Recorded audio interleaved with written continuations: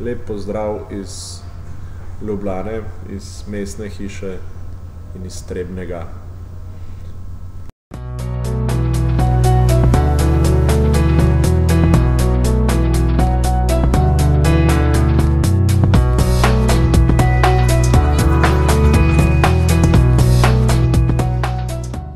Where I didn't evaluate uh, architectural design, I evaluated the functioning of, uh, of the projects. I was trying to think how would I, as a child or as a youngster, use it. So I'm trying to imagine how people today would use it.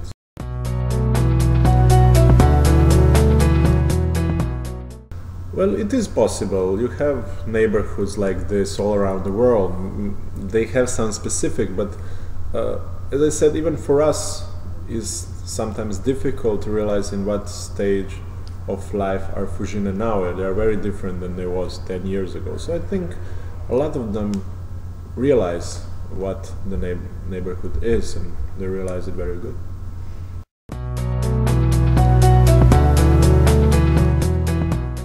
It's a responsibility. It's a responsibility that you're going to give something to the neighborhood and that you hope it will be something the neighborhood will use.